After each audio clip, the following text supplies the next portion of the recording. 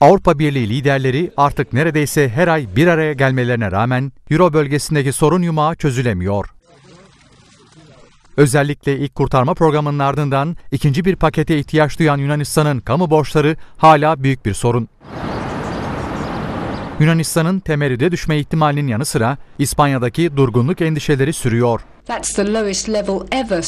Portekiz için de ikinci bir pakete ihtiyaç duyulacağı konuşulurken, İtalya'nın borç yükü ve Fransa'nın kredi notunu kaybetmesi önemli başlıklar olarak öne çıkıyor.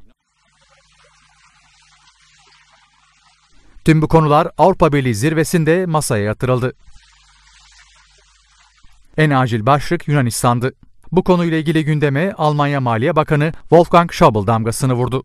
Schäuble, yardım miktarı ne olursa olsun Yunanistan'ın problemleri çözemeyeceğini dikkati çekti ve Yunanistan maliyesinin Avrupa Birliği'nin atayacağı bir komisere devredilmesini istedi.